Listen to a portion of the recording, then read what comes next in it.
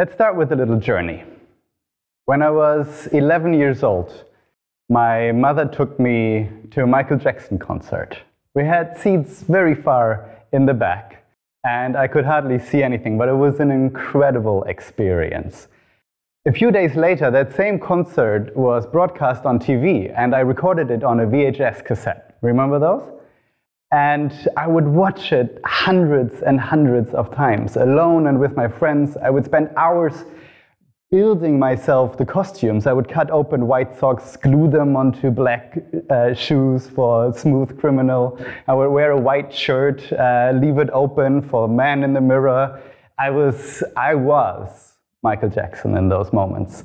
And together with my friends, we would watch the performance and we would rehearse the choreographies and we would play them for our friends in school.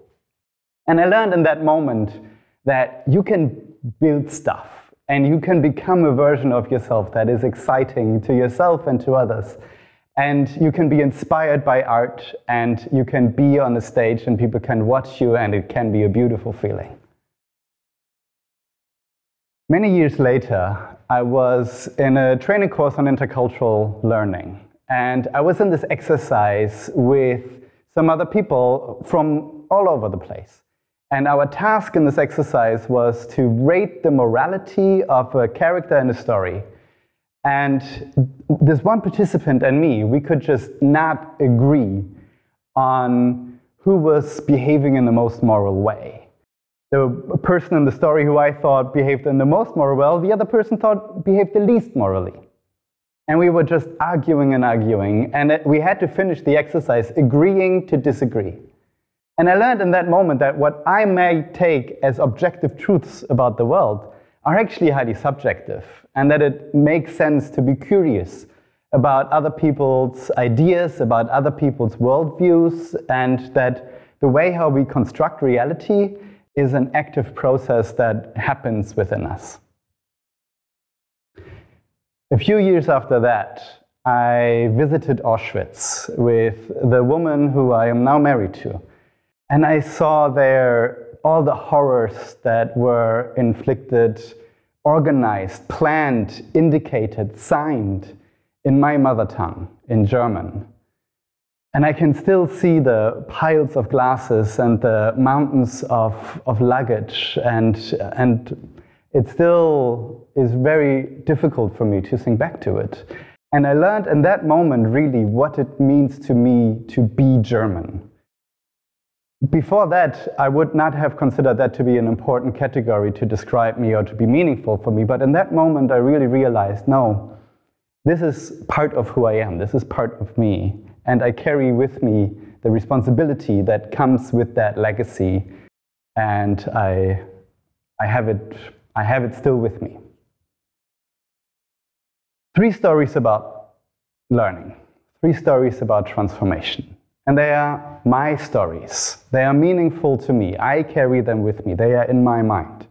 And I have hundreds of stories like that, just as everybody else in the audience. The stories that you have in your head, those are your stories. Those are the stories about your learning, about your transformation, about your growth. And it's not so important right now what those stories are about. But what I would like to spend a moment on is to consider the shape of these memories because we carry the meaning of our past in the shape of stories. And that for me was a profound idea, and it, it changed the way how I work. Because the experiencing self is always in the now, right? The one who we are right now, the experiencing self, is right here, right now, as Daniel Kahneman said. It takes in the experiences of the world through our sensory organs and then transforms it into neural activity, and that's it. But our remembering self takes out of those experiences and categorizes them into meaning. And our remembering self, our remembering self is a storyteller. So if we want to take that thought seriously, we can think about okay, if our remembering self is a storyteller, and if we make sense of our life through those stories that we tell about ourselves, then we can spend some time thinking about the shape of the story. And people much smarter than me have thought about that already, and they came up with a few ideas.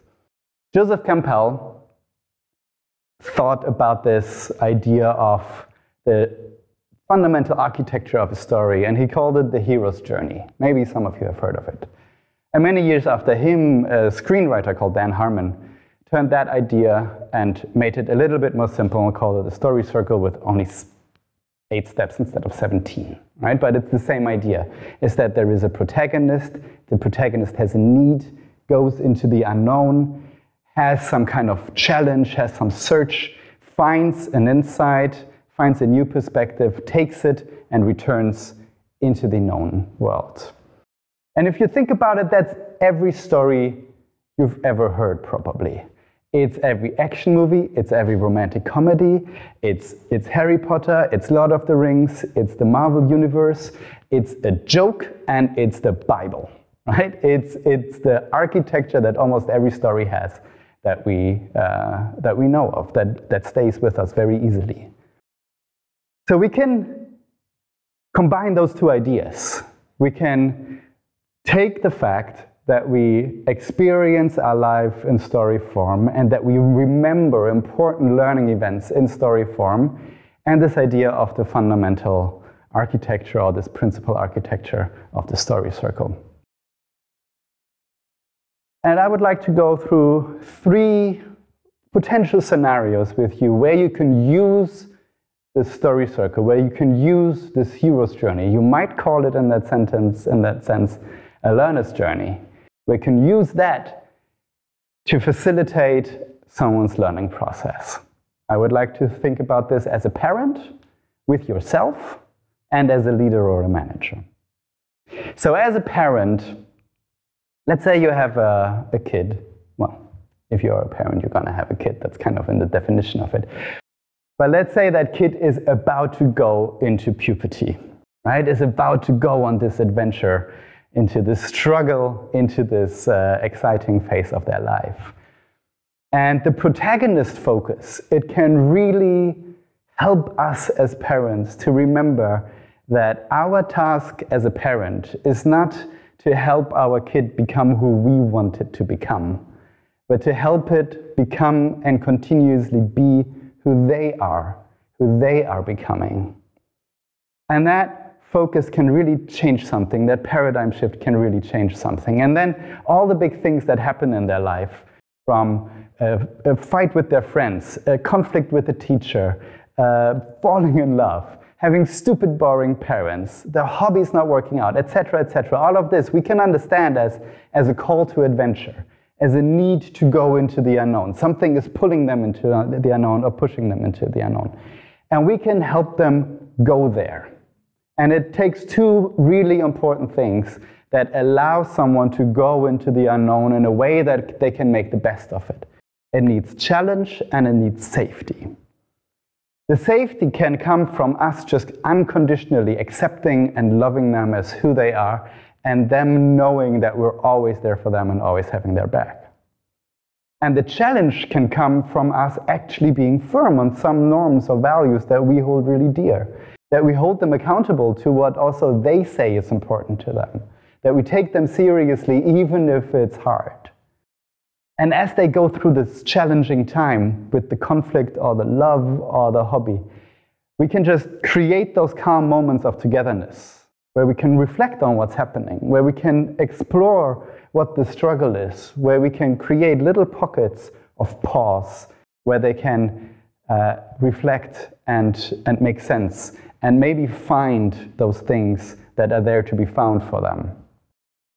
Because then, when we give them this chance to, to find the meaning in the challenge, and we can work with them to make it theirs, then they can emerge from this with a sense of who they are, with a sense of accomplishment, with a sense of self worth, with a sense of knowing that they can meet challenges and they are ready to meet the next challenge that is ready for them.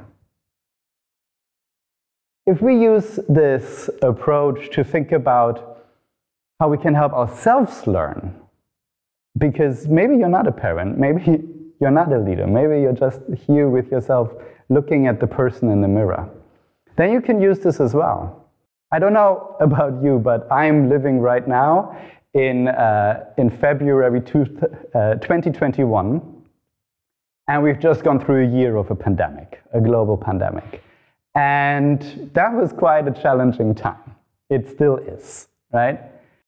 And the protagonist focus for me in this moment can really help to be clear on who I am, what is important for me, and my position in this world and in this life, and just reflect on what I am actually feeling right now. The need phase, yes, that was thrust upon us. We didn't choose to go into lockdown. We didn't choose to spice our life up with a little pandemic, right? This just happened to us. Suddenly our work was different. Suddenly life was different. Suddenly the freedoms that we had were different. Suddenly we had to do things we had never had to do before. And so we had to go into this unknown. And what made it easier for me was to actually select a few challenges in there that I can choose. So, like hundreds and thousands of people, I started to bake sourdough bread. Right? And, and I explored with it and I, I made it my challenge. I read the blog posts, I watched the YouTube videos, I did everything, and I made some beautiful breads.